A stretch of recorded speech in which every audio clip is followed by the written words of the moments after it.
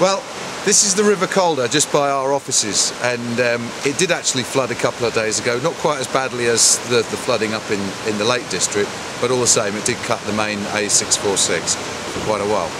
Now, of course rivers have always flooded for millennia.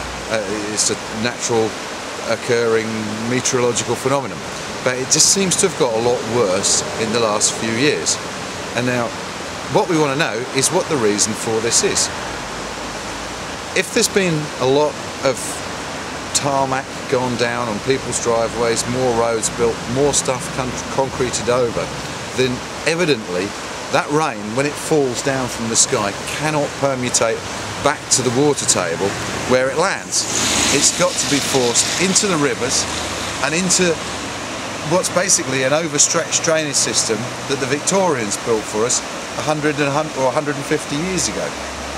So one of the ways that we can alleviate flooding in the future in this country, particularly if the rainfall is going to increase, as most meteorologists suggest is, is happening because of climate change and other factors over the over the next 20 to 50 years, what we need to do is find a way so that to stop the rain going down into the rivers immediately or down into the overstretched drainage system which then overflows and goes into the rivers.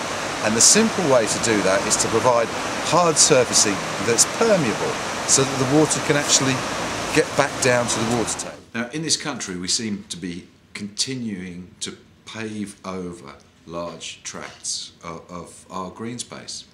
In the last few years in London alone 32 square kilometres have been paved over. Now, if this was public space, there'd be a massive outcry. And the reality is, it's the size of 22 Hyde Parks. But because it's private driveways and off-road parking, it's been done little by little and nobody really seems to have made much of an issue out of it.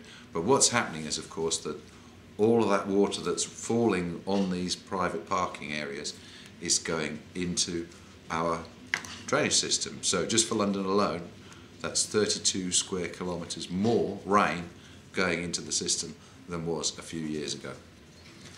This is a Hebden 40 eco paver or permeable paver, cellular paving. It's got a variety of different names. Ground reinforcement grid.